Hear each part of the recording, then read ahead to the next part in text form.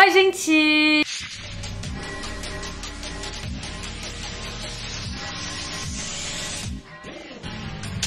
J'espère que vous allez bien. Aujourd'hui, on se retrouve pour une nouvelle vidéo et on se retrouve pour un nouveau thread Reddit. Donc aujourd'hui, je vous amène deux grosses histoires dans cette vidéo. Mais avant que la vidéo commence, je voulais vous parler de notre sponsor du jour que vous connaissez sûrement à force si vous êtes toujours là pour les threads Reddit et Surfshark. Surfshark est donc le fameux VPN qui nous permet de changer la localisation de notre téléphone portable, tablette ou ordinateur et mettre comme si on était dans un autre pays pour avoir accès à du contenu que de base, ben, en France, on peut pas avoir, comme par exemple des séries Netflix, des jeux vidéo, des matchs de foot, euh, des chaînes en direct. Vous avez Surfshark sous forme d'application pour le téléphone ou pour l'ordinateur, mais également sous forme d'extension sur l'ordinateur qui facilite énormément les choses. Donc imaginons si vous voulez regarder quelque chose sur Netflix par exemple qui n'est pas disponible en France, vous avez juste à ouvrir soit l'application, soit l'extension, cliquer sur le pays en question, faire OK et ça va vous mettre comme si vous étiez dans le pays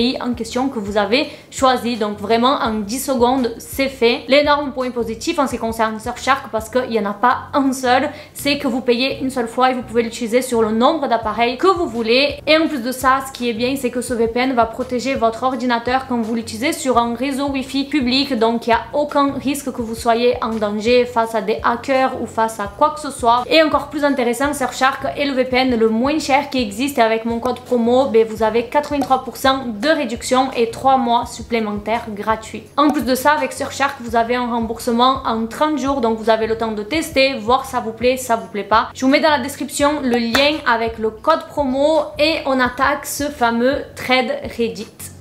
Pour la première histoire, la fille s'appelle Julia et ça s'est passé quand elle avait seulement 17 ans, donc c'était en 2016 quand elle était étudiante. Elle vivait dans son premier appartement, était vraiment très petit mais que ça lui allait très bien parce qu'elle avait enfin son indépendance. Et aussi parce qu'elle habitait dans un endroit très safe puisque c'était une résidence, il y avait un badge, il y avait une deuxième porte avec un code, euh, il y avait que des étudiants qui habitaient là puisque c'était à côté du campus et qu'elle a jamais eu aucun souci dans cet appartement dans le quartier. Julia a fait énormément attention à quand elle sort de chez elle, vérifie toujours deux fois si elle a bien fermé la porte et en plus de vérifier deux fois, elle ferme à clé deux fois donc elle tourne deux fois la clé dans la serrure parce qu'elle a un léger toc. La première chose que Julia a raconté, ça s'est passé dans un jour complètement banal, elle s'était réveillée, elle avait mangé et elle partait pour aller en cours quand elle a essayé de sortir de chez elle, de fermer à clé et sa clé ne sortait plus de la serrure. Donc euh, elle savait vraiment pas quoi faire parce que ça faisait 3 minutes qu'elle était dessus,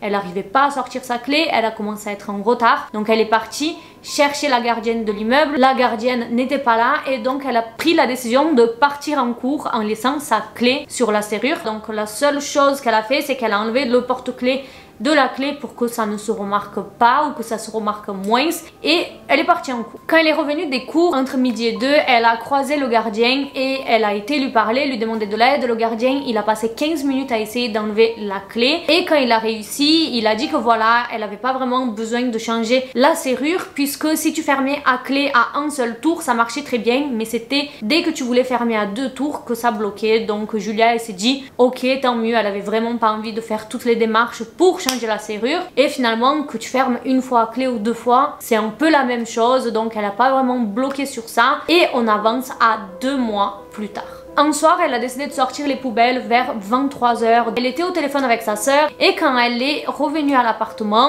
sa porte était déverrouillée. Ce qu'elle a trouvé très bizarre de suite parce que elle sait qu'elle fermait tout le temps, tout le temps à clé. Elle est rentrée dans son appartement, son regard a été directement vers la gauche puisqu'elle a été fermé la porte et elle a vu un homme dans sa salle de bain. Quand elle a vu cet homme, elle avait déjà verrouillé la porte donc son premier réflexe a été de déverrouiller la porte pour partir en courant mais sa serrure ne marchait plus, c'était impossible de déverrouiller la porte. Donc elle dit qu'elle a essayé pendant environ ce qui a duré 3 secondes et elle a compris que en fait c'était pas possible, elle allait pas réussir à sortir et son premier réflexe a été de sauter par la fenêtre. Donc là, on voit le niveau de panique pour sauter par la fenêtre. Elle dit qu'elle habitait au deuxième étage, mais que c'était plus bas qu'au deuxième étage. Bien sûr, quand elle a sauté, elle a super mal atterri et elle s'est direct fait mal à la cheville. Elle a commencé quand même à partir en courant le plus vite qu'elle pouvait. Et quand elle s'est arrêtée deux secondes pour reprendre son souffle et qu'elle a regardé derrière, elle a vu que l'homme en question l'a regardé par la fenêtre. Donc là, il s'est dit, soit il va sauter, mais peut-être qu'il a peur de sauter de deux étages, ou soit ben, il va partir par la porte, quoi, tout simplement. Et Julia, elle a pas vraiment eu le temps de réfléchir, elle est juste partie en courant et elle s'est cachée dans un buisson un peu plus loin. Une fois qu'elle était dans ce buisson, elle a appelé la police, elle a raconté tout ce qui venait de se passer et bien sûr la police est arrivée environ 10 minutes après. Ils ont été chez elle et quand la police est rentrée chez elle, ils sont tombés nez à nez avec l'homme qui était assis sur le canapé avec un couteau de cuisine dans les mains. Il attendait qu'elle rentre et clairement très bête en pensant que Julia n'allait pas appeler la police en mode il y avait quelqu'un dans sa salle de bain et elle n'allait pas appeler la police. Elle nous dit ils ont arrêté le gars, ils m'ont dit plus tard qu'il avait déjà été arrêté pour agression sexuelle, viol, tentative d'enlèvement et tentative de meurtre. Et il a avoué à la police tout ce qui s'est passé, qu'est-ce qu'il avait planifié, comment il a rencontré Julia, donc on a absolument tous les détails. Julia explique que ce mec en question a réussi à rentrer dans l'immeuble très facilement puisque c'était vraiment un endroit avec que des étudiants, c'était un quartier assez sympa, assez calme et qu'en fait il est rentré dans l'immeuble en même temps que quelqu'un d'autre rentrait et quelqu'un lui a juste tenu la porte sans vraiment lui poser de questions, il a fait comme s'il habitait dans l'immeuble. Ce mec a avoué qu'il avait remarqué Julia sur le campus euh, de sa fac et qu'il avait suivi plusieurs fois jusqu'à ce moment où il dit mot par mot qu'il avait décidé de passer à l'acte. Est-ce qu'il comptait abuser d'elle sexuellement? Est-ce qu'il comptait la tuer? Enfin, Julia ne sait pas. Elle finit le trade en disant Je n'habite plus là-bas, mais après cela, pour entrer dans le bâtiment, nous avons tous besoin d'une pièce d'identité pour y accéder. Des identifiants de bâtiments ont été créés et nous devons les scanner à chaque fois. Il ne s'est rien passé de mal dans le quartier depuis ça, c'est redevenu très paisible et très convivial. J'ai trouvé l'histoire horrible parce que là, euh, enfin, elle, a vraiment su tout ce que le mec comptait lui faire. Finalement, elle a réussi à s'en sortir et je pense qu'elle a eu énormément de chance parce que je pense qu'il avait vraiment pas des intentions. Euh, voilà quoi. On va passer donc à la deuxième histoire. La deuxième histoire s'appelle Appel de remorquage tard dans la nuit. Cette fois-ci, le trade Reddit est raconté par un mec. C'est très rare que ce soit un garçon qui raconte euh, une histoire. On va l'appeler Jordan. Jordan, il dit Mon histoire n'est pas une histoire où j'étais la cible de la traque ou de l'harcèlement de quelqu'un, mais une histoire où j'étais le gars qui était au bon endroit au bon moment. Et je suis à peu près certain que mon intervention a peut-être sauvé quelqu'un que j'aurais jamais dû rencontrer ce soir-là. Et en ce qui concerne Jordan, il travaille dans une entreprise de dépannage de voitures. Donc, il est chauffeur de dépanneuse. Et il dit que voilà, ça a été son premier boulot, qu'il adore faire ça et qu'il pensait que c'était ce qu'il comptait faire jusqu'à la fin de sa vie, mais que cette histoire, ben, l'a fait un petit peu flipper. À l'époque, il travaillait pour une très petite entreprise où ils étaient seulement deux employés, donc il y en avait un qui travaillait en journée et l'autre qui travaillait de nuit. Et tous les week-ends, il changeait et cette fois-ci, ben, Jordan, il travaillait de nuit. Il nous dit aussi que c'était l'été, donc euh, ça fait que les gens sortaient jusqu'à très tard le soir et que du coup, il travaillait énormément. Il y avait toujours des appels, que ce soit pour des nettoyages d'accidents, remorquage de voitures en panne, remorquage d'accidents et ça lui convenait parce que vu qu'il travaille de nuit, il était payé plus chaque intervention, il avait une sorte de supplément donc plus il remorquait de voitures, plus il gagnait. C'était un samedi soir mais c'était environ 2h30, 3h du matin donc finalement c'était dimanche Voilà, c'était tard, il était fatigué, il était de mauvaise humeur, il voulait juste rentrer quand il reçoit un appel d'une voiture qui était tombée en panne au bord de l'autoroute. Donc il demande où c'est que c'est situé et c'est vrai que c'est environ à 15 km de l'endroit où il travaille, mais quand il se renseigne sur l'endroit où il devrait poser la voiture en question, c'est juste à côté de chez lui. Donc de base, c'est une voiture qu'il aurait refusé d'aller la récupérer puisqu'il peut refuser ou accepter. Mais vu que c'était sur la route pour rentrer chez lui, ben juste après ça, il irait à son appartement. Et donc finalement, ça lui posait pas vraiment de souci que ce soit à 15 km. Il accepte donc l'appel et il saute sur son camion pour aller récupérer la voiture en question. La compagnie d'assurance a fourni le numéro de la personne en question qui est tombée en panne. Donc c'est une fille qui s'appelle Cara. Il essaye de l'appeler pour lui dire voilà je suis en route, j'arrive dans tant de temps pour que la personne ait une idée à peu près quand il arrive. Mais quand il appelle Cara, ben, personne répond, ça tombe pas sur la messagerie mais la personne en question répond pas. Ce que d'après lui arrive très souvent, des fois la personne est au téléphone avec ses parents ou avec quelqu'un d'autre et elle décroche pas forcément un numéro qu'elle connaît pas. Il est sur l'autoroute quand il voit des feux de détresse, donc il voit une voiture garée, mais ce qui est bizarre, c'est qu'il voit une deuxième voiture garée juste devant la voiture euh, de la victime, on va dire. Ce qui le fait un peu chier parce que généralement, euh, la voiture de la dépanneuse, le camion, il est censé se garer devant l'autre voiture pour pouvoir remorquer la voiture facilement.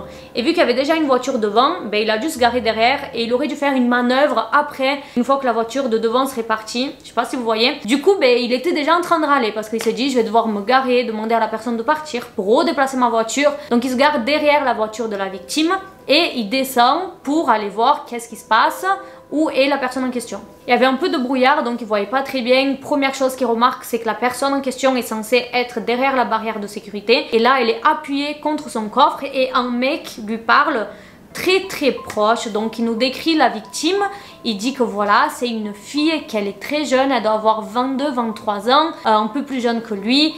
Elle est brune, très belle, elle est habillée avec une sorte de pantalon en cuir, en body dos nu, elle sortait clairement de soirée d'après lui parce qu'elle était très bien maquillée, très bien habillée. L'homme qui lui parle, ben, il a l'air vachement fatigué, le visage fermé, il est très maigre, il porte ensuite un capuche qui a l'air un peu sale. La fille en question, elle a les bras croisés et le mec qui se penche pour lui parler. Donc il dit qu'il y avait une ambiance vraiment très bizarre et qu'il comprend pas trop la situation sur le moment qui est ce mec en question. Il se rapproche de la fille et lui demande si c'est elle Cara, donc elle loche juste la tête comme ça. Et le mec se tourne vers Jordan et il commence à lui parler direct en disant ouais mec t'inquiète il y a juste un problème de carburant c'est une solution facile. Est-ce que vous pouvez juste déposer sur le parking en banlieue et je vais la réparer là-bas donc Jordan quand le mec lui dit ça il est vraiment pas content parce que de base s'il a accepté l'appel c'était pour le poser dans le garage qui était à côté de chez lui. Et là, s'il le dépose en sortie de banlieue dans un parking, ben c'est lui qui va devoir payer euh, les frais en plus. Il va devoir appeler l'assurance pour demander l'autorisation. Bref, ça va être super long.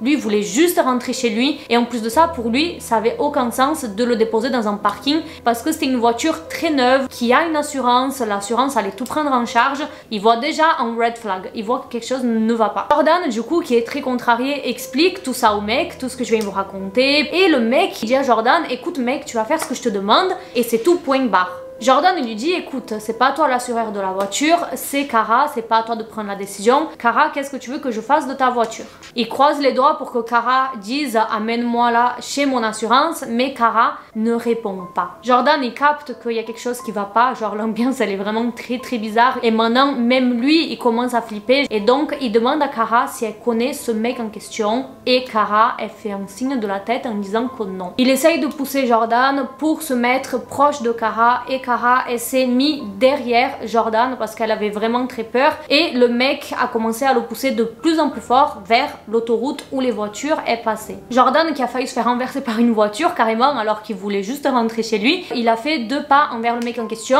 il a poussé et il a regardé dans les yeux et il a dit maintenant tu vas partir. Le mec en question n'a pas vraiment parlé, il avait un regard très très énervé, Jordan l'a fixé une seconde, deux secondes, il ne dit rien, il prend Cara par le tour de la taille et il a fait monter dans son camion. Avant de remonter dans sa voiture, il s'arrête, il regarde Jordan et il lui fait un sourire que Jordan lui dit que ça lui a glacé le sang, qu'il a jamais vu un sourire comme ça et ensuite il est monté dans sa voiture et il est parti. Jordan il dit qu'il a vraiment fait le mec fort en mode il allait le frapper alors qu'il était vraiment en train de trembler.